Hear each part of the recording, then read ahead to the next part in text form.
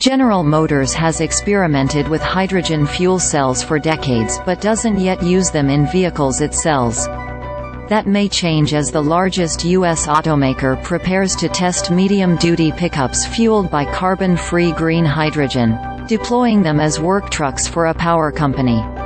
GM's HYDROTEC unit said pickups based on its 2024 Chevrolet Silverado 5500 model equipped with its fuel cell system will be used for commercial applications later this year by Atlanta-based Southern Company, one of the country's largest utilities. They'll be designed to get over 300 miles per fueling and also serve as a remote electric power system. They'll refuel at a station developed with the utility company and Nel, a Norwegian maker of electrolyzers, where hydrogen will be generated from a dedicated renewable power system. The test program is being partially paid for by a $26 million Energy Department grant GM received in 2021. The company didn't say how many of the fuel cell trucks, which weigh 19,500 pounds, similar to diesel version it sells, will be built for the program or whether it intends to eventually commercialize them.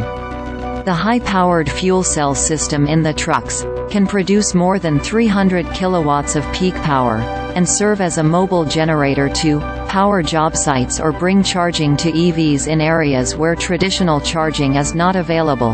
Jacob Lozier, Hydrotec's program manager, told reporters.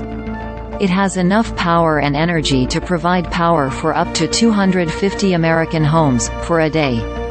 GM began working on hydrogen fuel cells in the 1960s and in the early 2000s even though it might eventually be able to sell millions of passenger vehicles powered by the elemental fuel.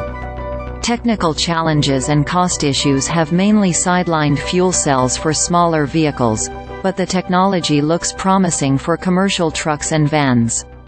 Nikola began selling hydrogen semis to customers in California last year, and truck manufacturers including Daimler, Volvo and Hyundai are preparing to follow. Fuel cells, electrochemical devices that turn electrons from hydrogen into electricity, can provide range and power that typically exceed battery systems, operate efficiently in hot or cold weather and can be refueled in a fraction of the time it takes to recharge an EV. But hydrogen is difficult and costly to transport and store, challenges that have slowed its use beyond industrial applications.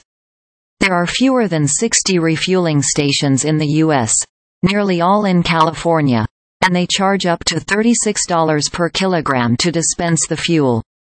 The Golden State has over 18,000 hydrogen passenger vehicles, mainly Toyota Mirai sedans and Hyundai Nexo crossovers. Honda, which partners with GM on fuel cell tech, plans to offer a hydrogen CRV crossover that also operates as a plug-in electric vehicle in California this year.